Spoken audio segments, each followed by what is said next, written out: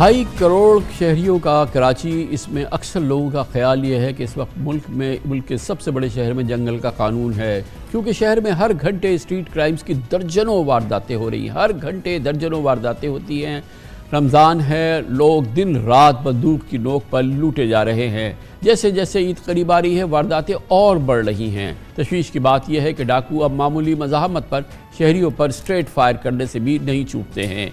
बीस सौ चौबीस के अब तक पचानवे दिनों में पचपन कराची वाले मौत की मुँह में जा चुके हैं। जी हाँ पचानवे, पचपन जो लोग हैं, उनको मजामत पर कत्ल किया जा चुका है। रमज़ान के दौरान स्ट्रीट क्रिमिनल्स ने खातून समेत पंद्रह अफराद की जिंदगियाँ छीन ली।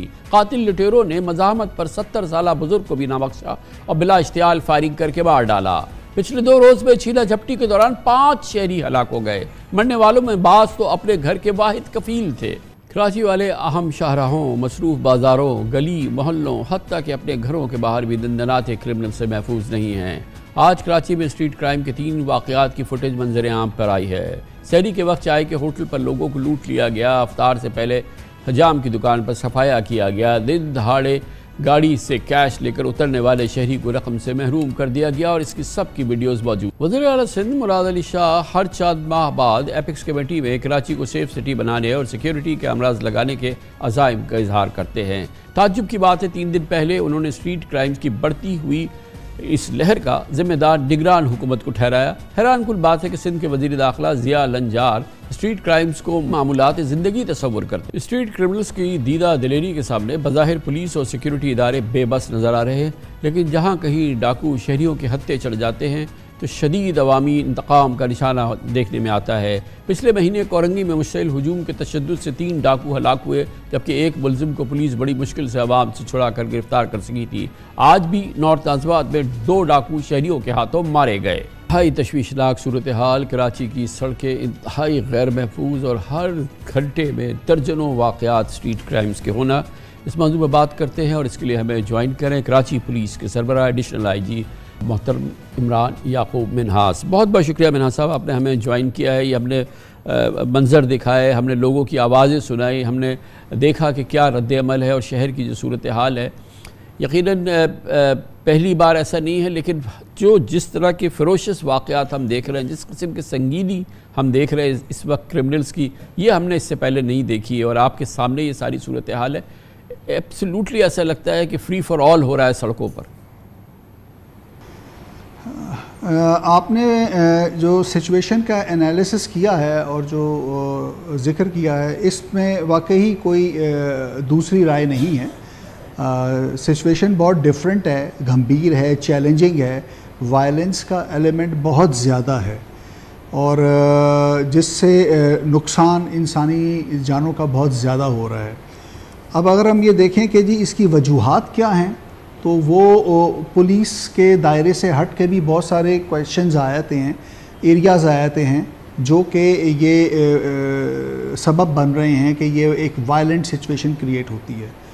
पहले मैं आपको ये बता दूँ, पहले जिस चीज़ पे मैं आ रहा हूँ, वो ये है कि जी ये तासर मुनासिब नहीं है कि जी पुलिस कुछ नहीं कर रही है।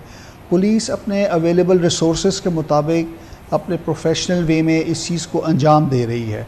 आपने कल के कुछ वाक़ात का ज़िक्र किया, बिल्कुल बड़े ट्रेजिक इवेंट्स हुए थे, लेकिन मैं आपको कल की ही, पिछले 24 घंटे की पुलिस परफॉर्मेंस की तरफ़ आपकी तवज्जो मबजूल करवाना चाहता हूँ।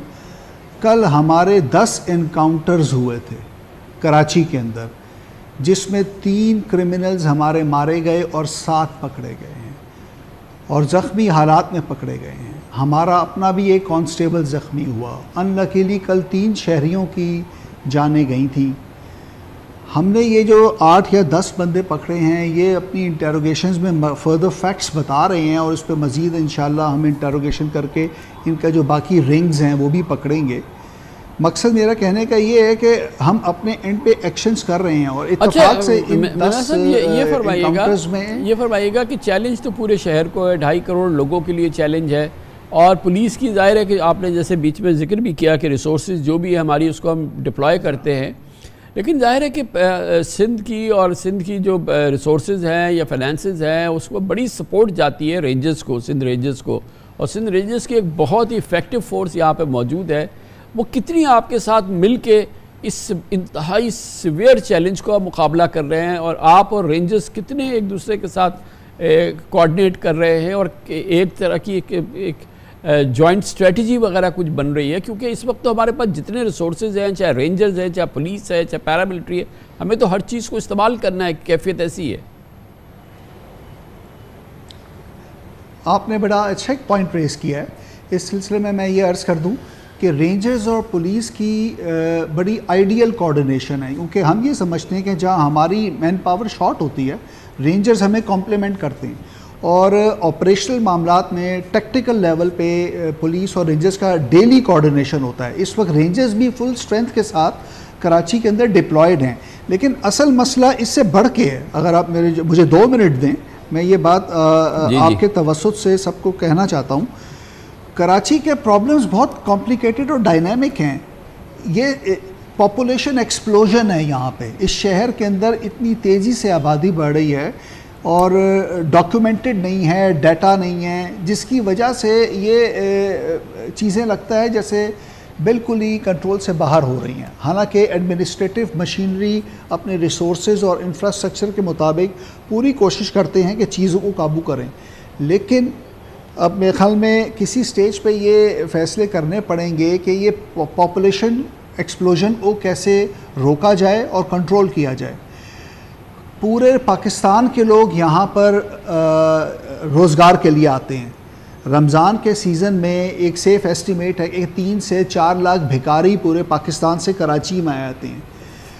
कल जो हमने ये मिसाल दी, दस इनकाउंटर्स किए और जो लोग पकड़े गए हैं, आपको हैरानगी होगी जान के कि इन यंगस्टर्स में से, दस में से छः लड़के बिल्कुल पढ़, पढ़ाई लिखाई से बिल्कुल आज़ाद थे, यानी कि जाहिल थे। Young boys and they were totally illiterate boys एक लड़का मैट्रिक था और दो लड़के मिडिल पास थे।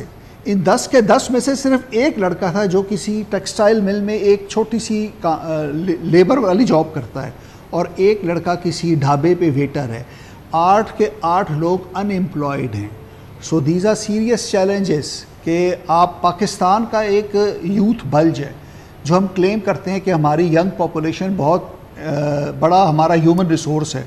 लेकिन लम्हा फ़िक्रिया ये है कि अगर ये ह्यूमन रिसोर्स पढ़ेगी नहीं तालीम हासिल नहीं करेगी हुनर नहीं सीखेगी तो इस किस्म के यंगस्टर्स जो कि गरीब भी हैं अनएम्प्लॉयड हैं महँगाई का आलम आपके सामने है एक साल से जो इन्फ्लेशन मुनासिब और आपके बहुत ही बहुत ही अप्रोप्रिएट बिल्कुल सही आर्गूमेंट है। ज़ाहिर है कि ये सोशल डेप्रीवेशन और ये तमाम चीज़ें जो हैं अपनी जगह इकनॉमिक डेप्रीवेशन ये सारी अपनी जगह बट येट कि पुलिस की अपनी ज़िम्मेदारी तो बहरहाल मालो जान की हिफाजत करनी है और और और जिस तरह के वाक़ात हो रहे हैं आप देख रहे हैं कि उसमें कोई डेटरेंस हमें नज़र नहीं आती क्रिमिनल को जब वो एक सत्तर साल के आदमी को मार रहा है खातून को मार रहा है। जी प्लीज़ आई डू एग्री आपने बिल्कुल सही और पर्टिनेंट सेंट में ये इशारा दिया है। डेटरेंस और डेटरेंस सर आता है। Proper police investigation prosecution conviction और पनिशमेंट से। यानी अगर आप जब इस सज़ा का जो खौफ होता है ना सर, वो क्रिमिनल्स को रोकता होता है। अब जब हम बात करते हैं इस तरफ़ से तो फिर मैं ये समझता हूँ कि पुलिस के अलावा क्रिमिनल जस्टिस सिस्टम के डिफरेंट कंपोनेंट्स जो हैं they are also responsible for this हमें ये चाहिए कि हम अपने क्रिमिनल जस्टिस सिस्टम की कैपेसिटी वो इंफ्रास्ट्रक्चर कैपेबिलिटी और उसकी परफॉर्मेंस को इम्प्रूव करने की बात करें। खाली पुलिस के ऊपर अगर आप बात करते हैं, देखिए police is just just the first responder ठीक है? हम आते हैं, हम पकड़ते हैं, ले जाते हैं, शहादतें जो मिलती हैं, हम मुतल अदालत में पेश करते हैं।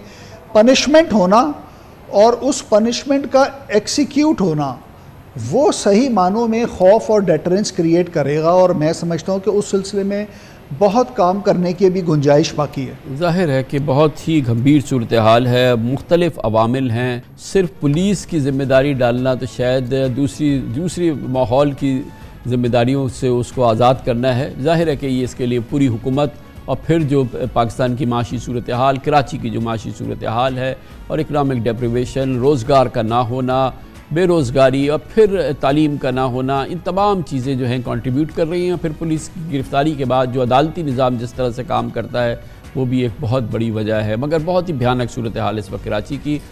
कमर्शियल ब्रेक और उसके बाद ज़िक्र करेंगे। इंतबात भी हो गए, सूबाई हुकूमतें भी बन गई, मगर बलूचिस्तान में काबीना का दूर दूर तक पता नहीं है, न जाने कहाँ चली गई। बलूचिस्तान में वैसे भी सियासी सूरत हाल बहुत ही दिलचस्प है। नाम की सियासी जमातों की लोगों की एफिलिएशन है। सब काम जो है, ये इलेक्टिबल्स का है और वो भी अपनी मखसूस मफादात के हवाले से काम आगे बढ़ाते हैं। इसकी बात कर लेते हैं छोटे से वक्फे के बाद।